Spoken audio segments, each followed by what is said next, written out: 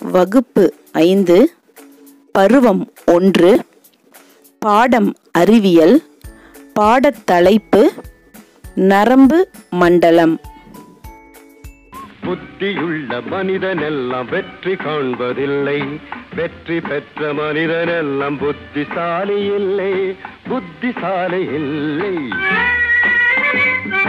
புத்தியுள்ள மனிதனெல்லாம் வெற்றி காண்பதில்லை. வெற்றி பெற்ற மனிதனெல்லாம் புத்திசாலி இல்லை.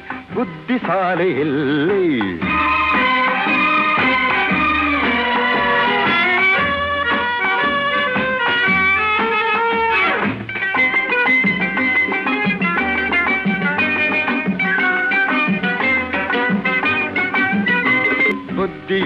மனிதனெல்லாம் வெற்றி காண்பதில்லை. வெற்றி பெற்ற மனிதனெல்லாம் புத்திசாலி இல்லை. புத்திசாலி இல்லை.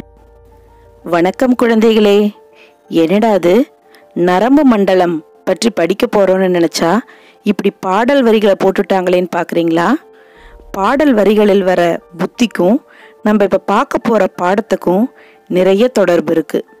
ஆமாம் மூளை மற்றும் அதன் பணிகளை பற்றி தான் இப்போ நம்ம இந்த பாடத்தில் பார்க்க போகிறோம் எல்லாரும் ரெடியாக இருக்கீங்களா? பாடத்துக்குள்ளே போகலாமா நரம்பு மண்டலம். நரம்பு மண்டலம் என்பது நரம்புகள் மற்றும் சிறப்புத்தன்மை வாய்ந்த செல்களான நியூரான்களின் ஒருங்கிணைந்த அமைப்பாகும். மனித நரம்பு மண்டலம் இரண்டு பிரிவுகளாக பிரிக்கப்பட்டுள்ளது. அவை மைய நரம்பு மண்டலம் சிஎன்எஸ் அதாவது சென்ட்ரல் நர்வஸ் சிஸ்டம் அடுத்து பிரிவு நரம்பு மண்டலம் பிஎன்எஸ் அதாவது பெரிபெரல் நர்வஸ் சிஸ்டம்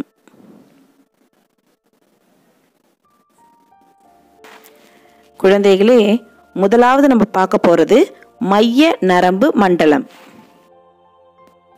மூளை நினைவு கூர்தல் படித்தல் மற்றும் எழுதுதல் போன்ற பணிகளை செய்கிறது. மூளை மூன்று உரைகளால் சூழப்பட்டுள்ளது. அவை dura mater arachnoid mater pia mater இவையே மூன்று உரைகளாகும். இந்த மூளையானது கிரேனியம் அல்லது மண்டையோடு என்னும் எலும்பு பெட்டகத்துக்குள் பாதுகாப்பாக உள்ளது. இந்த தேங்காய் எல்லாம் எப்படி ஓட்டுக்குள்ள பாதுகாப்பா இருக்கோ அதே போல.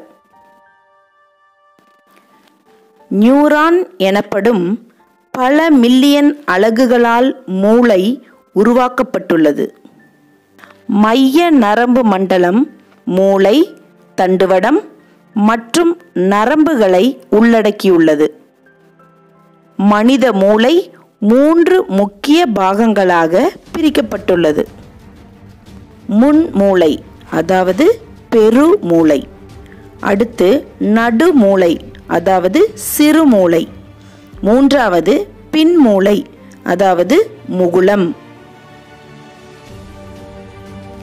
முதலாவது முன் மூளையை பற்றி பார்க்கலாம். இந்த முன் மூளையே மூளையின் மிகப்பெரிய பகுதியாகும்.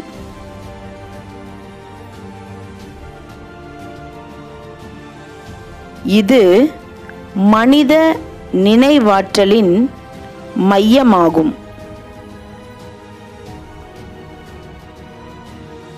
இது புத்தி கூர்மை கற்பனை திறன் காரண காரியம் ஆகியவற்றிற்கு காரணமாகிறது. அடுத்து நடுமூளை அல்லது சிறுமூளை.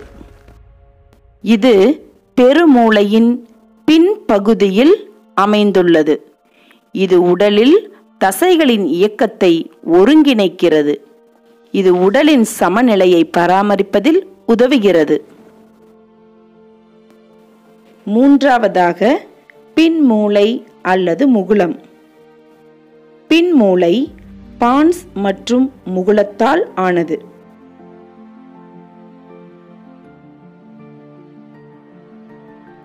இது மூளைத்தண்டு எனவும் முக்கிய முடிச்சு எனவும் அழைக்கப்படுகிறது. இது சுவாசம் இதய துடிப்பு மற்றும் பிற தன்னிச்சையற்ற தசைகளின் இயக்கங்களை கட்டுப்படுத்துகிறது. மனித நரம்பு மண்டலத்தின் இரண்டாவது பிரிவு பிரிவு நரம்பு மண்டலம். பிரிவு நரம்பு மண்டலம் தண்டுவடத்திலிருந்து வெளியேறி உடல் முழுவதும் பரவக்கூடிய நரம்புகளை பிரிவு நரம்பு மண்டலம் உள்ளடக்கியுள்ளது. இது இரண்டு பகுதிகளாக பிரிக்கப்பட்டுள்ளது. ஒன்று உடல் நரம்பு மண்டலம். மற்றொன்று தானியங்கு நரம்பு மண்டலம். என்ன குட்டீஸ்? மனித நரம்பு மண்டலம் எத்தனை பகுதிகளாக பிரிக்கப்பட்டிருக்கிறது? இரண்டு பகுதிகள். வெரி குட் அவை என்னென்னன்னு தெரியுமா? ம் எனக்கு தெரியும் டீச்சர். சொல்லு பாப்போம். மைய நரம்பு மண்டலம் பிரிவு நரம்பு மண்டலம். சூப்பர். அடுத்து மனித மூளையின் பாகங்கள் இணைப்போமா? மனித மூளை மூன்று முக்கிய பாகங்களாக பிரிக்கப்பட்டுள்ளதுன்னு படிச்சிருக்கோம். அந்த மூன்று பாகங்களை இப்போ நீங்கள் சொல்லணும். என்னென்னன்னு கேட்டால் தண்டுவடம் பெருமூளை மூளைத்தண்டு. இப்போ மேலுள்ள முதல் பாகம் என்ன வரும் சொல்லுங்க பார்க்கலாம். பெருமூளை. Wow super. அடுத்து இருக்கிற பாகம் பேர் என்ன? மூளைத்தண்டு.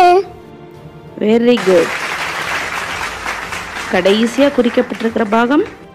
டீச்சர் நான் சொல்றேன் நான் சொல்றேன். தண்டுவடம்.